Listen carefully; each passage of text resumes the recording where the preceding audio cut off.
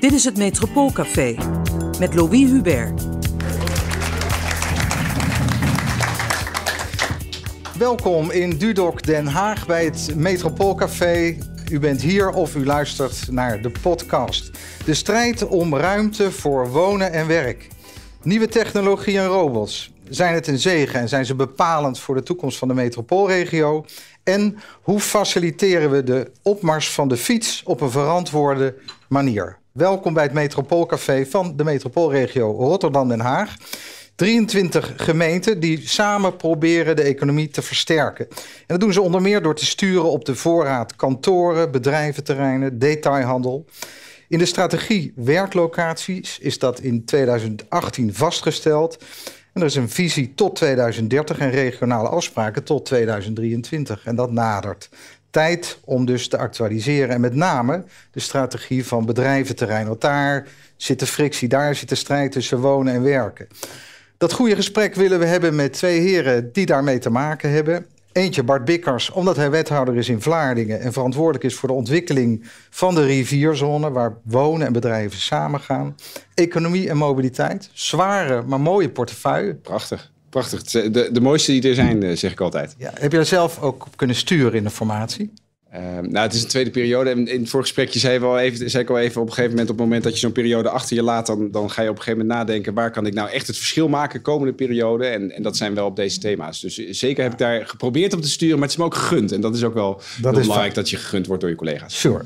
Gert-Joost, uh, fijn dat jij er ook bent. We hebben jou vanwege je uh, bagage gevraagd.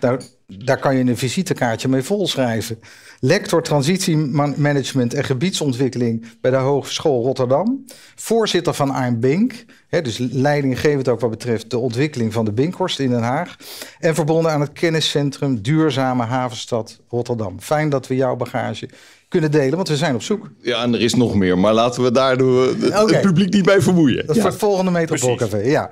Um, uh, Bart Pikkers, ik zei het al, hè, de, er is een gebrek aan bedrijfsruimte. Is de nood inderdaad zo hoog? Um, ja en nee, denk ik. Uh, ik, denk, ik denk dat er uh, gebrek is aan ruimte die op dit moment vrij is. Uh, maar ik ben ook van overtuigd dat op het moment dat je goed door je oogharen kijkt naar die bedrijventerreinen, dat je ook uh, met een beetje opruimen heel veel uh, ruimte creëert. Wat bedoel je met opruimen? Nou, sommige bedrijven zitten niet op de goede plek. Hè? Die zouden op een andere plek veel beter kunnen functioneren. Um, tegelijkertijd zeg ik ook wel eens, in onze hele regio zijn er plekken waar het vestigingsklimaat het, het beste is van het hele land, maar wel voor de verkeerde bedrijven. Hè? Bedrijven die je eigenlijk niet wil in je stad, die niet zorgen voor werkgelegenheid, maar vooral zorgen voor een nachteconomie. Um, daar zul je heel hard moeten, op moeten gaan drukken, wat mij betreft, om ervoor te zorgen dat je ruimte creëert voor die bedrijven die wel zorgen voor werkgelegenheid. En als je dat eens projecteert op de rivierzone? Ja. Nou, de rivierzone is, een ander verhaal, denk ik. De rivierzone is eigenlijk, als je kijkt naar uh, district U, dat is waar vroeger het Unilever uh, gebouw zat. Uh, echt jaren geleden, dan heb ik het echt over 50, 60 jaar geleden, waren daar duizenden mensen aan het werk. Uh, de afgelopen 10, 15 jaar is dat al lang niet meer. Uh, was het een klein laboratorium uh, waar nog mensen aan het werk waren, maar niet zo, zo, zo groot als, als toen. En met het vertrek van Unilever hebben we wel gekeken hoe kunnen we nu ervoor zorgen dat hier we woningen kunnen toevoegen, het onderwijs kunnen toevoegen, maar ook werkgelegenheid kunnen toevoegen. En dat gezamenlijk eigenlijk als een, als een soort van deken over dat gebied laten, laten ontstaan. En dat, ja. dat gaat lukken, daar ben ik echt van overtuigd. Hier concurreert werk niet met wonen. Um, niet in het gebied zelf, maar wel aan de randen van het gebied. Wat ik zie is, uh, je zag net een plaatje van de overkant, zoals dat dan bij ons heet. Een mooie, mooie lichtbak ook aan de, de, overkant. Dit is onze overkant. Als je vanuit Vlaardingen naar de overkant kijkt, zie je dit ook. Spernis. Uh, zeker. Um, en wat je ziet is dat zij, de, de bedrijven aan die kant, die zijn echt wel huiverig voor de woningbouwplannen aan onze kant. Omdat zij zeggen, op het moment dat wij geluid genereren binnen onze milieucontouren, dan krijgen wij klachten van onze overkant. En dat doet iets met ons imago. Ik probeer hen tegelijkertijd uit te leggen dat uh, hun medewerkers ergens moeten wonen. Dat uh, we rekening houden met alle milieuculturen aan hun kant. Mm -hmm. uh, en dat de imagoschade voor hen vele malen groter is als zij deze 3, 3.500 woningen die we hier willen gaan toevoegen tegen gaan houden. Nou blijf je met de koppen tegenover elkaar staan. Heb je dan versturingsmogelijkheden? Kun je duwen en douwen? Nou ja, nogmaals, uh, hun medewerkers zullen ergens moeten wonen.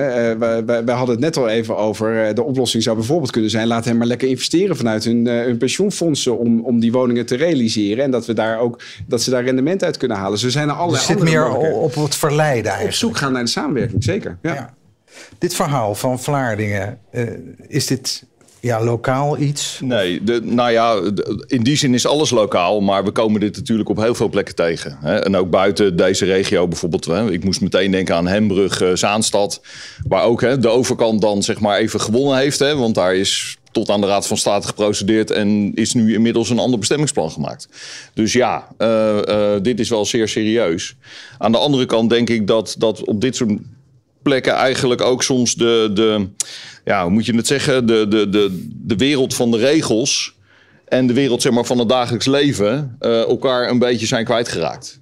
Hoe bedoel je dat? Uh, nou, uh, de, wat je aangeeft, de oplossing kan zijn door juist aan de voorkant met dat soort partijen te gaan samenwerken.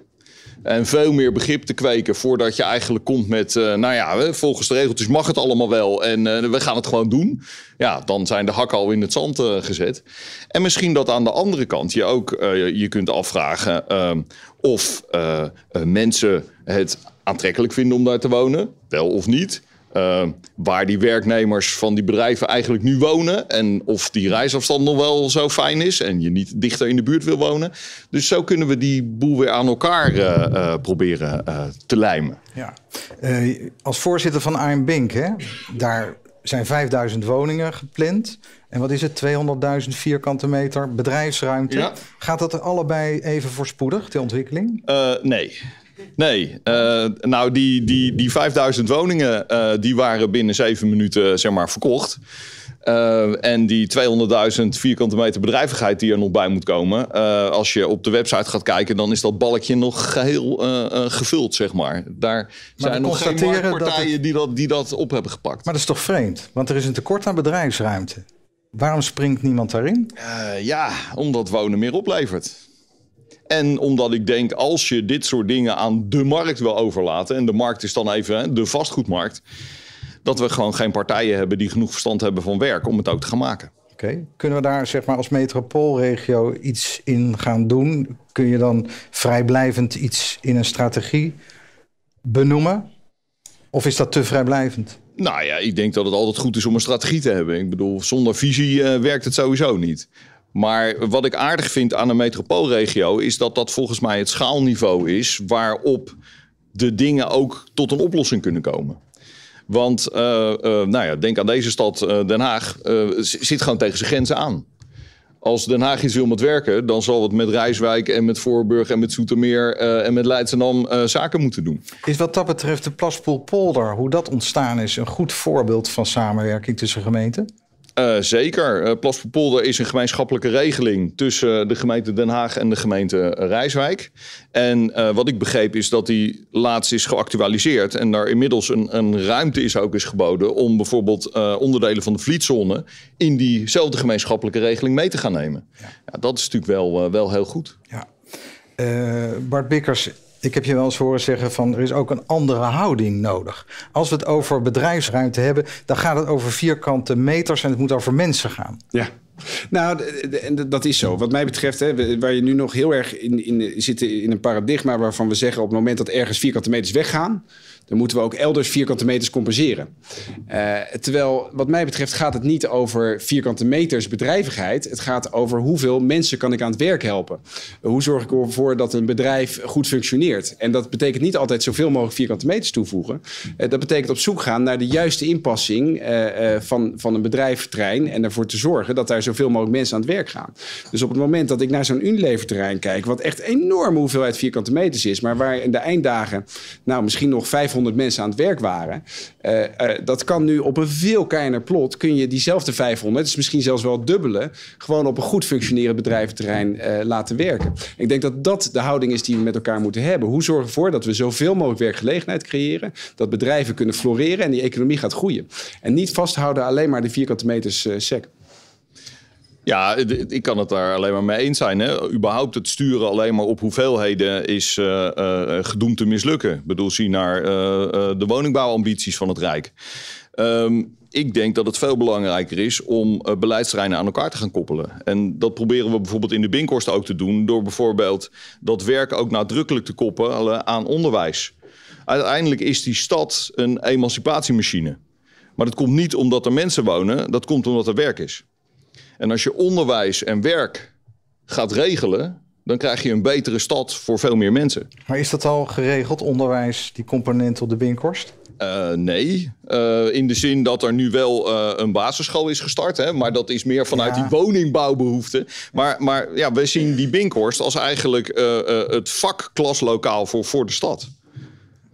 Met de nabijheid van Laak, waar ook een behoefte is aan dat soort type werk en, en opleiding. Nou heeft het de traditie, uh, Binkhorst, hè, met de fokkerhallen. Ja. Uh, luchtvaarttechniek zat er. Maar fokkerhallen zijn nu voor evenementen en luchtvaarttechniek. Is het er nog als onderwijs? Nee? Nee. Nee, dus we missen dat soort, dat soort zaken. We zien wel dat er van onderop allerlei dingen gebeuren. Dus er wordt, en, hè, en dan kan je heel klein vinden, maar het is wel heel belangrijk. Er wordt geknutseld aan scootertjes met uh, uh, jonge delinquenten. Ja, uh, dat is wel de manier voor die gassies om er weer bovenop te komen. Ja. En dat zijn hele kleine projectjes, maar wel echt goud waard. Ja. Beter benutten, dat is wat ik hoor. Hè? De, die 23 gemeenten willen bedrijfsruimte beter benutten. Mm -hmm. Geldt dat ook voor uh, watergebonden activiteiten zoals bij de rivierzone?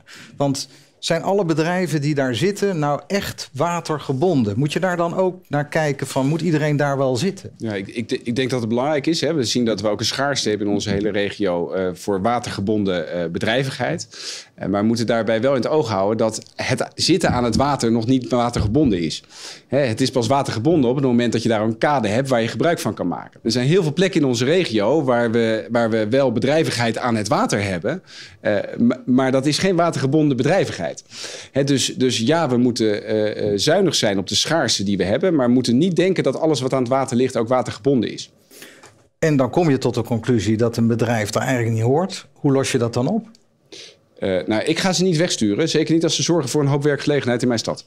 Maar goed, toch vind je het niet ideaal dat ze er zitten. Nee, kijk, uiteindelijk gaat het dan om verleiden. Ga, ga, kun, je, ja. kun je ze verleiden naar een andere plek te gaan? Uh, wat uiteindelijk, kijk, die watergebonden bedrijvigheid, hè, de plek die watergebonden is, uh, die zal waarschijnlijk een hoop meer opleveren uh, voor dat bedrijf. En als het eigendom is, dan kun je ze proberen te verleiden en hen te laten zien dat die business case echt wel rond te maken is op het moment dat zij naar een veel mooiere plek voor hen verhuizen en een watergebonden bedrijf daar naartoe gaat. Ja. Maar dat gaat altijd om verleiden. Dat ja. gaat niet om dwang. Oké. Okay. Um, wil jij eens met ons meedenken uh, in creatieve oplossingen? Want uh, uh, we moeten iets. Rondom die watergebonden bedrijvigheid in die plekken. Nou, mag ook breder. Wat nou ja, maar laten we daar, daar maar eens mee beginnen. Want, want watergebonden plekken die zijn natuurlijk ook waanzinnig interessant voor woningbouw. Wonen aan het water is gewoon een enorme meerwaarde. Dus je ziet dat die plekken ook heel snel in beeld komen bij, bij ontwikkelaars. Tegelijkertijd zitten daar vaak als ze wel watergebonden uh, zijn uh, bedrijven die een hindercirkel hebben. Ik denk even aan betoncentrales, asfaltcentrales, dat soort type bedrijvigheid. Die zitten wonen vaak in de weg. Nou, hè, dan zien we één tweetjes zoals in de Binkhorst, waarbij hè, de subsidie, uh, woningbouwsubsidie van het Rijk wordt gebruikt om een asfaltcentrale uit te plaatsen. Hopelijk is die ergens geland inmiddels. Mm -hmm. uh, of misschien niet meer nodig, dat zou ook kunnen. Maar er is nog een route. En dat is eigenlijk die, die watergebonden be bedrijvigheidsfunctie te laten zitten. En hem eigenlijk opnieuw invulling te gaan geven. En dan denk ik bijvoorbeeld aan stadsdistributie over water met elektrische bootjes. We moeten dat weer opnieuw innovatief gaan inkleuren. En op zo'n manier dat het wellicht bijvoorbeeld weer met wonen te combineren is. Want hè, die, die aantrekkelijkheid mogen we ook best uh, benutten. Daarover gesproken, verbaas jij je wel eens? Hè, we hebben verdicht wonen geregeld, maar verdicht werken niet. Nee, dit is, dit is denk ik echt de grootste opgave voor, voor de komende uh, jaren. Is om te kijken of we uh, verdicht werkruimte kunnen gaan maken. De mooiste voorbeelden uit het verleden zie je ook dat het hele waardevolle gebouwen zijn. Ik denk even Strijp S Eindhoven en uh, de Vanellenfabriek uh, Rotterdam. Hè. Gestapelde bedrijfsgebouwen die nu fantastisch zijn om her te ontwikkelen. Kunnen we niet komen tot nieuwbouw van dat soort type gebouwen die dus in zichzelf door de maatvoering en de vloerbelasting ook een transformatieve kwaliteit in zich hebben. Waarom niet over 30 jaar dan wel wonen? Wie weet. Eh, hè, en dan is er nog een, een waardeslag wellicht nog te maken. Maar dan kunnen we ook nu eh, een antwoord geven op die behoefte van eh, bedrijven om nabij het centrum van de stad toch te kunnen blijven zitten. Oké. Bij wonen hebben we ook doelgroepenbeleid. Hè? We maken voor starterswoningen, voor statushouders. Maar ondernemers zijn geen doelgroep. Eh, nee, Zou dat handig zijn als je dat ook doet in relatie tot dat je dan tegen ontwikkelaars kan zeggen: deze doelgroep moet je wel bedienen? Ja, nee, de enige doelgroep eh, die er nu is heet eh, plintvulling. En ja, dat bakent niet zo heel lekker af. Dat zegt meer iets over de huurprijs die je kunt betalen dan wat je er daadwerkelijk gaat doen. Ehm, ik zou wel pleiten voor bijvoorbeeld eh, iets als, eh, eh, nou ja, noem het, we hebben sociale woningbouw, sociale werkbouw. Een, een bepaalde huurcap. waardoor je starters, maar ook meer creatievelingen, ook gewoon nog steeds op die plekken kunt houden. Ja. Helpen dit, deze. Nou, ik, ik denk dat we dit soort dingen ook wel zien. Hè? Eh, we zien, eh, als je kijkt hier in Delft bijvoorbeeld, om de, vlak om de hoek, daar zie je dat start-ups echt wel de ruimte krijgen om op een redelijk, relatief goedkope manier zichzelf te ontwikkelen en uiteindelijk tot, tot scale-up eh, door te groeien. En zelfs daar zijn de faciliteiten nu voor, voor in onze regio gerealiseerd. Dus ik denk dat we dat goed aan het doen zijn. En dat zou misschien beter kunnen. Maar om nou te zeggen, in de rivierzone gaan we die, die plinten allemaal voor, voor de laagste prijs verhuren. Ja, daar moet er wel nog meer maatschappelijk geld bij. En dan ben ik er ook van overtuigd dat de bedrijven die zich hier willen vestigen voor, wat mij betreft, die hoofdprijs, van harte welkom zijn om daar ook gewoon aan de slag te gaan. Nou, je moet gewoon af van het idee dat bedrijvigheid is voor plinten onder woongebouwen. Bedrijvigheid verdient een eigen verdichte ruimtelijke oplossing. En daarin kunnen we differentiëren in, denk ik, verschillende prijsklassen. En daarmee voor alle type bedrijven, want sommige start-ups eh, zijn ook zeg maar, financieel goed gevuld. Dus die hoeven dat ook helemaal niet heel goedkoop te doen. Ehm, eh, voor alle type bedrijvigheid een ruimte eh, kunnen bieden. Dank jullie wel.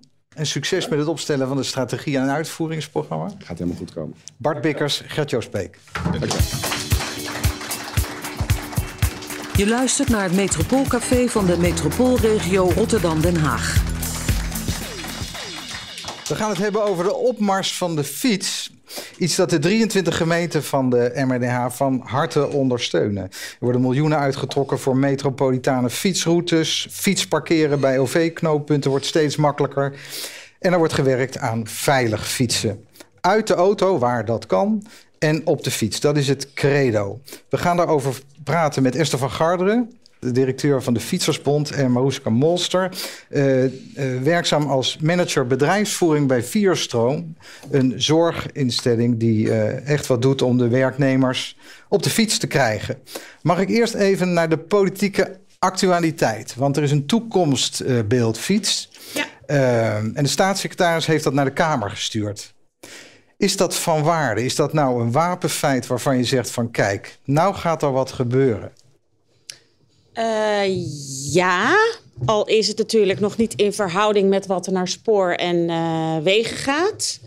Maar eh, wat er betekenisvol aan is, is dat het voor het eerst in de geschiedenis de Rijksoverheid in haar begroting structureel geld voor fiets heeft opgenomen. Daar was wel wat duw- en trekwerk voor nodig. Willy weet er alles van.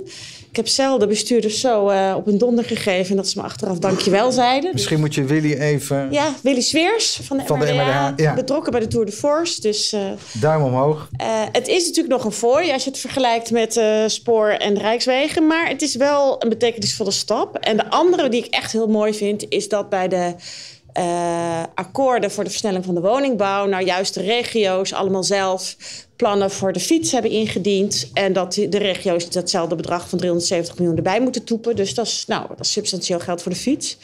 En dan staat er in de Kamerbrief ook, vind ik zo mooi wat taal doet. Daar staat er en voor het afwaarderen van wegen. Maar dan zeg ik nee, het is niet het afwaarderen van autowegen. Het is het opwaarderen van wegen voor de mens. Dus als iedereen in het vervolg die termen nou zou willen gaan gebruiken. Oké. Ja, nou ja, als we dan heel precies gaan kijken, dan valt er ook wel wat af te dingen op het geld. Tenminste, dat zeggen stedelijke regio's en ook de metropoolregio. He, het is een rekensommetje, 1 kilometer fietspad, dat is 1 miljoen euro. Nee, zeggen uh, bijvoorbeeld de metropoolregio Rotterdam-Den Haag, daar komen we niet mee uit. De stedelijke structuur is zo complex, we hebben gewoon 1,5 miljoen nodig. Ja, kijk, uh, het, ik vind het jammer als het alleen maar tot een gelddiscussie wordt uh, beperkt. Nou, we gaan het over meer hebben, maar is nee, het een terecht punt of niet? Ja en nee. Ik, ik, nou, uh, eerst maar de ja. Mm, ja. Ja. Ja. En dan de nee. Nou, um, waar een wil is, een weg. Want je kan niet alleen maar tegen het Rijk zeggen... Uh, mag ik even vangen? Maar je moet als regio zelf ook gewoon lef hebben. En uh, ja, ik bedoel, fietsinfrastructuur is in, in, verhouding een kopie. Je hebt er geen exploitatievergoeding bij nodig. Uh, het kost weinig ruimte. En als je even door je oogharen in deze steden kijkt... moeten we toch nog even, als we het over klassieke strijd... van de herverdeling van de ruimte hebben... dan heeft de auto toch nog verdacht veel ruimte. En al helemaal stilstaande auto's in het straatgebied. Dus... Maar is dan je nek uitsteken zorgen dat die auto's wegblijven uit de binnenstad? Ja. Oké, okay. punt. Verkeerscirculatie gaat dat goed in Den Haag hè, bij colleges. Inmiddels wel, maar er zijn er twee of drie over gevallen ooit. Ja, en dat begrijp je? Uh, gezien de politieke constellatie van die tijd snap ik dat. Maar inmiddels is dat gewoon voorbij. De fiets is gewoon bijna apolitiek geworden. Ja. Dankjewel.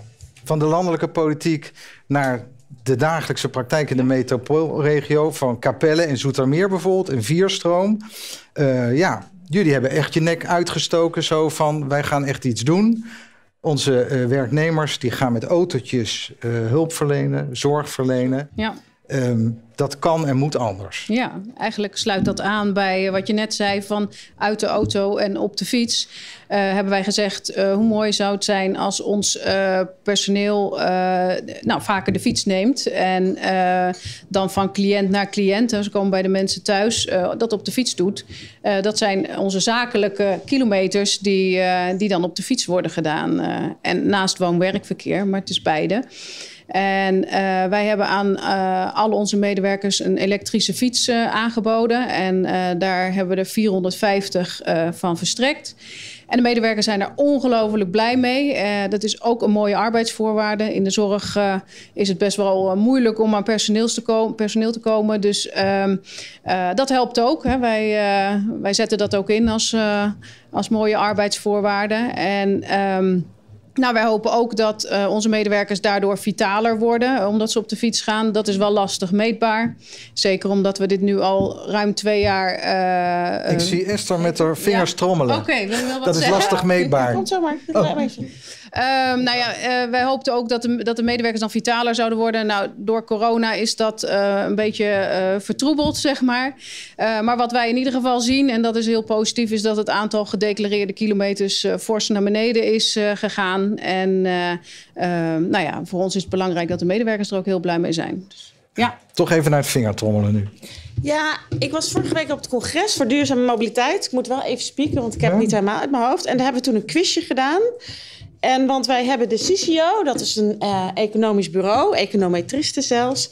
En die hebben voor ons uh, uitgerekend in het kader van werk in beweging, in het preventieakkoord. Uh, dat jullie business case als corona uitgesloten wordt fantastisch is. Want als tien werknemers de auto drie dagen laten staan, dan levert het de werkgever ruim 18.000 654 euro per jaar aan hogere arbeidsproductiviteit en minder ziekteverzuim toe.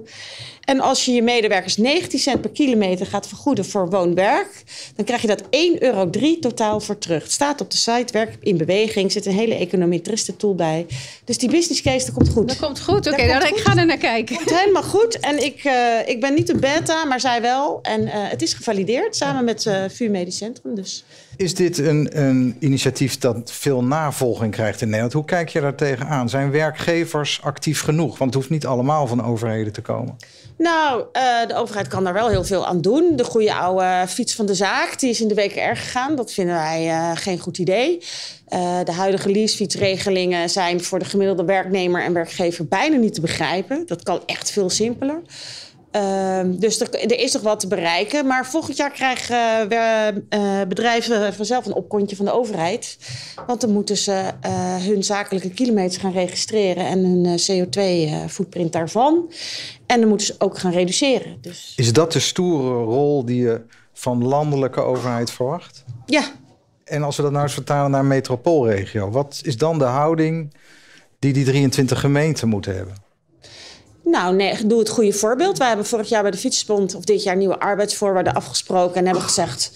Uh, WKR-regeling of niet. Iedereen mag eens per vijf jaar een fiets van de zaak. En als we daardoor boven ons WKR-plafond komen, dan toepen wij dat bruto voor netten erbij. En dat kost helemaal niet zoveel geld. En het levert dus uiteindelijk ontzettend veel uh, minder uh, ziekteverzuim en hogere arbeidsproductiviteit op. Dus die business case is prima te maken. Dus je kan als werkgever wat doen. Je kan zorgen dat je faciliteiten op orde zijn. En je hebt natuurlijk te zorgen voor goede infrastructuur en uh, verkeersveilige situaties. Want als het niet veilig is, gaan mensen niet fietsen. Ja. Als de vier jaar voorbij zouden zijn op dit ja. moment, Mariska. Nog twee jaar, ja. Nog twee jaar, ja. ja, ja. Liefst zonder een beetje corona. Ja. Zou je er dan mee doorgaan of niet? Nou, dat is wel afhankelijk van die business case. Uh, um, of die uiteindelijk positief gaat uitkomen. Dus daar moeten we nog aan gaan rekenen. Uh, maar we zijn wel heel positief. Met name ook uh, de, het geluid wat wij horen van onze medewerkers... dat ze er ongelooflijk blij mee zijn. Want bij ons betalen ze er niks voor. Alle kosten worden door de werkgever gedragen. ze mogen natuurlijk ook privé op fietsen. Um, is wel een hele belangrijke overweging om door te gaan. Ja. Ja. Um ik zou ook jullie de, kans willen geven om aan Esther of Maruska dingen te vragen. Als je dat leuk vindt, als je nieuwsgierig bent geworden of met zorg zit. Wie wil? Ja. Ik ben uh, Jan-Pieter Blok. Ik ben raadslid in Lansingerland en voorzitter van de adviescommissie volksgezondheid van de MRDH. Ik vraag me af, uh, hoe doe je dat? Ik fiets heel, heel veel, hè? maar als ik ergens heen moet, en het regent bij bestelen, dan stap ik niet op mijn fiets, dan stap ik in mijn auto. Maar hoe doe je het nou in werksituaties?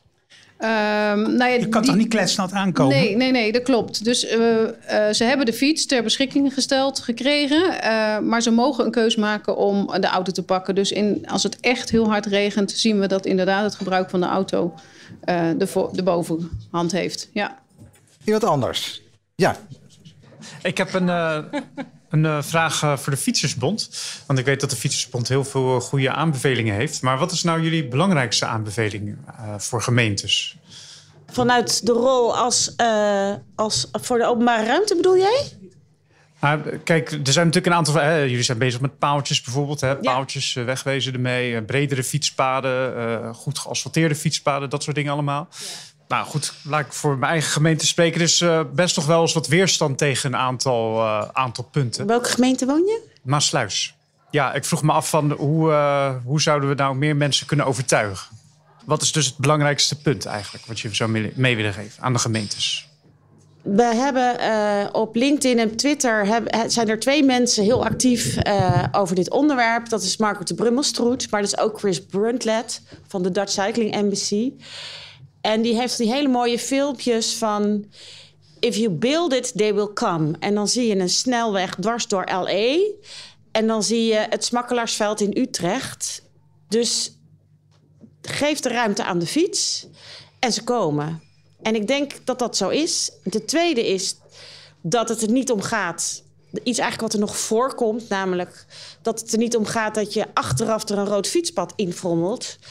Maar dat je de dingen op de goede plek neerlegt. Dus dat je 10 minuten steden maakt waar je gewoon in principe uh, op 10 minuten fietsen of lopen kan werken, wonen, recreëren, verblijven, naar school gaan. Uh, dus, en waar het fijn wonen, werken en leven is. Nou, begint iedereen meteen over het kostwinningsmodel dat dat voorbij is en dat je met z'n tweeën bent. Maar er is wel degelijk heel veel te winnen met goede ruimtelijke. Ik zeg altijd, het beste mobiliteitsbeleid is het, is het voorkomen van mobiliteit door goede ruimtelijke ordening. En daar hebben we op dit moment heel veel kansen in dit land, niet alleen in de MRDA, voor klaar liggen. En dat zal ook wel moeten, want de fiets wordt steeds sneller. Het worden er veel meer. Je zou qua infrastructuur ook echt wel een ja. andere aanpak moeten hebben de komende jaren. Ja, en daar helpen een aantal dingen in. Dat is enerzijds bredere fietspaden, maar ook meer fietsstraten. En maak uh, overal 30. Rotterdam heeft het in het coalitieakkoord. Den Haag gaat het nu doen. Eigenlijk is dat uh, ook inmiddels een apolitiek issue geworden. Dat wat mij natuurlijk ook wel weer uh, doet vragen van waar moeten we dan nu nog op inzetten. Maar we verzinnen altijd wel weer wat nieuws. Dus ja, ik vind het eigenlijk wel mooi om te zien. Er is nog een vraag. Ja, goedemiddag. Mijn naam is Lieke. Ik uh, ben raadslid in Leidschendam-Voorburg. Ik heb aan beide dames een vraag. Um, voor Esther de vraag. Stel jij hebt alle macht binnen de MRDH... en iedereen die zegt ja tegen alles waar jij mee komt... welke suggestie zou je dan doen om onze regio te verbeteren?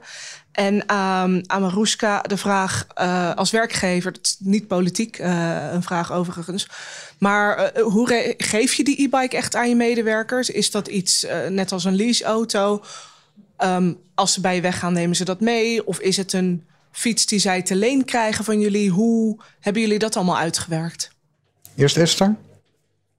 Nou, um, moet ik toch even... Dat is een heel gek antwoord misschien, maar ik kom net van een begrafenis. En er werd verteld over mijn vader dat hij net begonnen... Uh, toen hij geboren werd, dat er diepe armoede was... en dat hij als kind nooit een fiets heeft gehad... Waardoor hij ook niet naar de school van zijn keuze kon. En ik moest even aan die documentaire in Rotterdam denken. En uh, we hebben het altijd over grote en meeslepende verbindingen. En uh, nieuwe fietsinfrastructuur. Maar in Rotterdam Zuid en hier in het Laakkwartier en uh, andere wijken zijn natuurlijk nog heel veel kinderen die niet meedoen. Een op de tien kinderen in Nederland heeft dit moment geen fiets.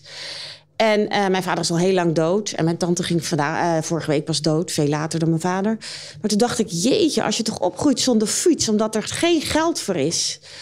Uh, dus dat is eigenlijk een heel persoonlijk iets. Ik ben ook laatst in Rotterdam Zuid geweest. Ik ben er ook heel erg van geschrokken. Dus ik zou zeggen, uh, maak de infrastructuur zo dat het voor iedereen er is. Dus want als het voor een driewieler of een handbike toegankelijk is, is het voor iedereen toegankelijk. Dus zorg toch dat je inclusief denkt. En uh, vergeet niet wie er allemaal nog niet meedoen. Dat is wat ik zou mee willen geven, omdat het probleem echt veel groter is dan iedereen hier in deze Kamer zich op dit moment realiseert. Oké. Ja, uh, bij ons is het, gaat het om een leasefiets. Dat hebben wij uh, vier jaar uh, is het contract. Dus de medewerker krijgt vier jaar tot zijn beschikking. Ehm, daar zit onderhoud bij, daar zit verzekering bij. en onderhoud wordt lokaal gedaan. Dus bij een fietsenmaker in de buurt of thuis. Uh, dus de, de medewerker heeft er geen omkijken naar. En um, als ze uit dienst gaan, dan uh, moet het ingeleverd worden en wordt die uitgegeven aan nieuwe medewerkers. Uh, dus het, het, is geen eigendom, niet van ons en niet van de medewerker. Nou, dit gesprek kan ook na afloop van het Metropoolcafé worden voortgezet. Dank jullie wel dat jullie er waren en met ons mee wilden denken. Dit is het Metropoolcafé. Presentatie Louis Hubert. We hebben de directeur van Yes Delft aan tafel. En dat is om de reden van het Region of the Future programma. Het is een nieuw innovatieprogramma van de metropoolregio Rotterdam-Den Haag en Yes Delft samen. En in dit programma ontwikkelen multidisciplinaire teams slimme, schone, gezonde en duurzame technologie.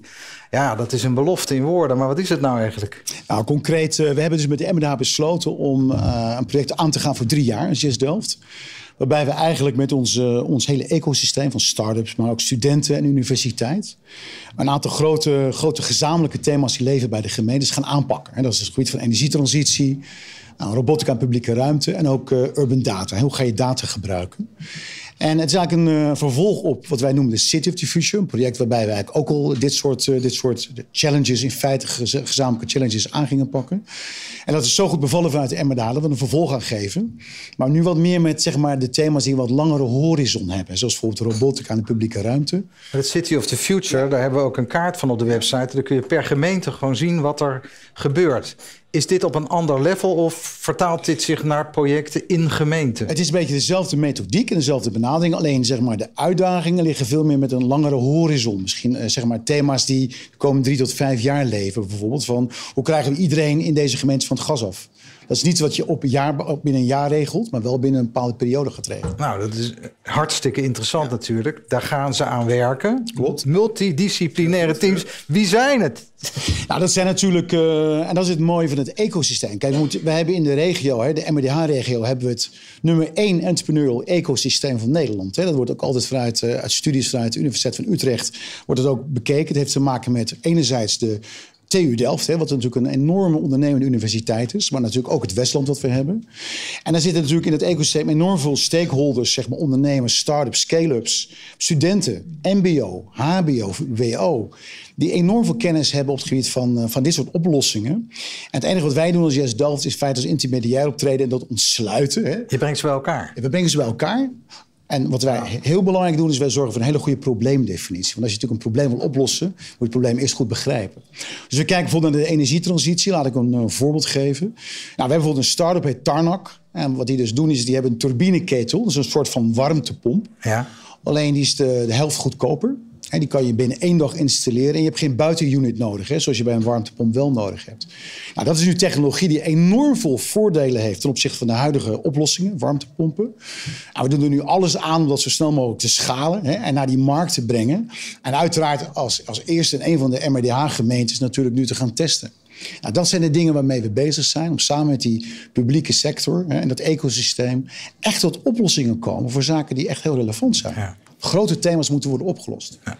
Nieuwe technologie wordt vaak in één uh, mond genoemd met uh, uh, robot, hè, robotica. Ja. Is dat één op één hetzelfde? Hebben we het dan over hetzelfde? Ja, we hebben natuurlijk heel veel robotica al in bestaande technologie natuurlijk. Hè. Ik ben hier, hier naartoe gekomen in, in mijn Tesla, maar dat, die wordt geproduceerd, dat weten de meeste mensen niet, in een fabriek die voor 85% volledig is gerobotiseerd. Hè.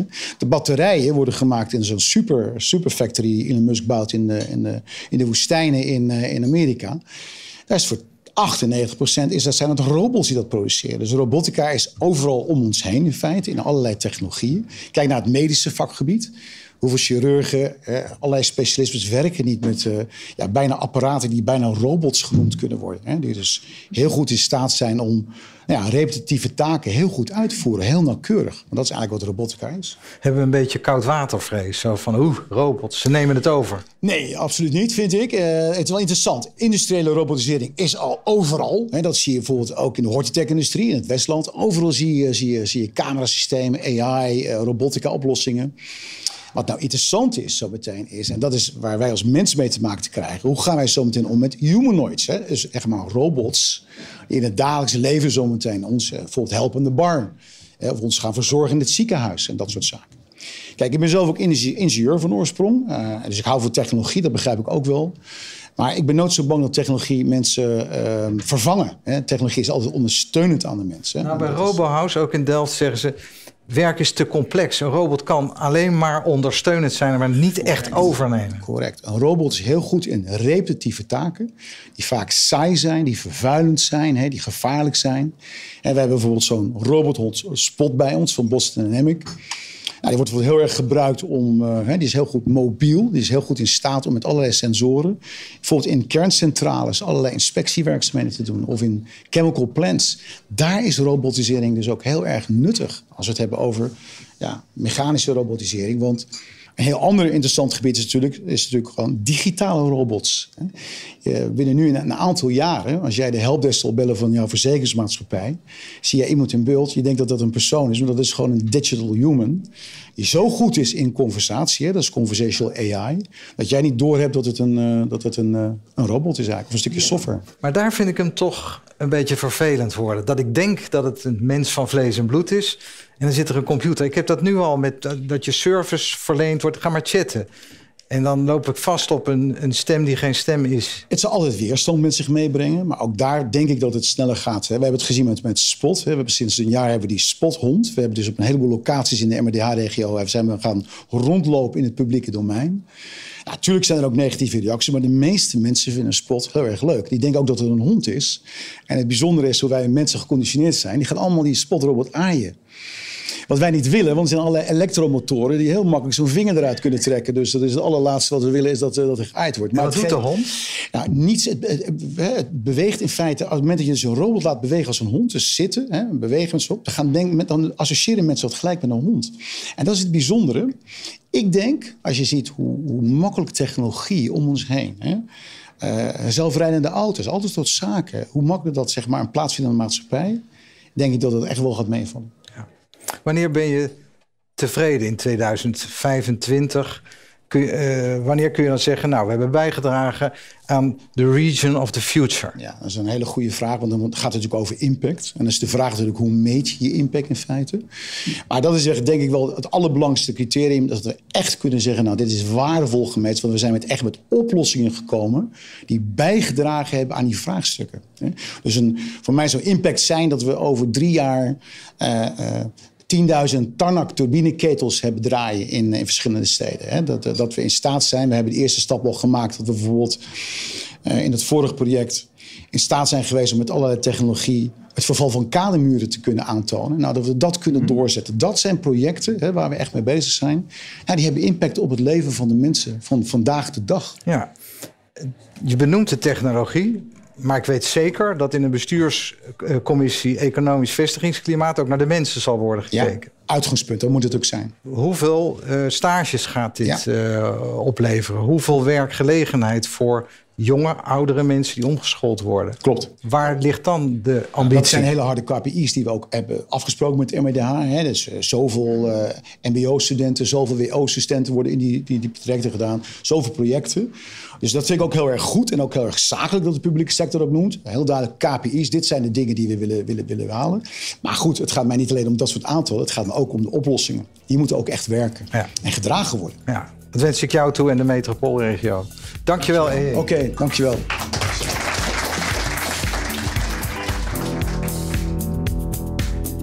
Dit was het Metropoolcafé van de Metropoolregio Rotterdam-Den Haag. Blijf ons volgen via je favoriete podcast-app.